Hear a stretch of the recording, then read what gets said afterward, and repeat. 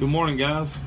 Uh, today's video is going to be on storage unit locks that you can buy at your local storage unit. Okay, this one's by Brinks, and this goes to prove to you that a name is just a name. It's got three serrated pins and one straight pin.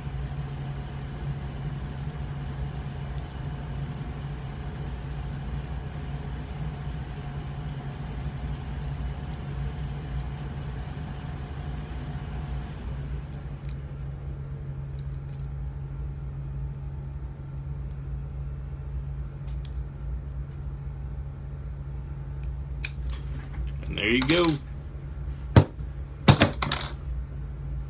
Nothing to it.